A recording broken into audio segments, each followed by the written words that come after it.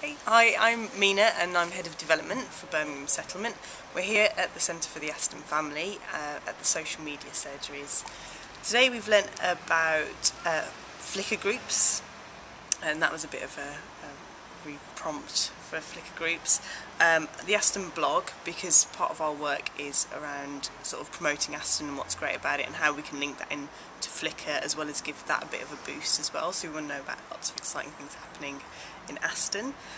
and we learnt about RSS feeds which I just think are going to be really useful particularly for me because I want to be able to have lots of information coming through on one point and be able to share that as well so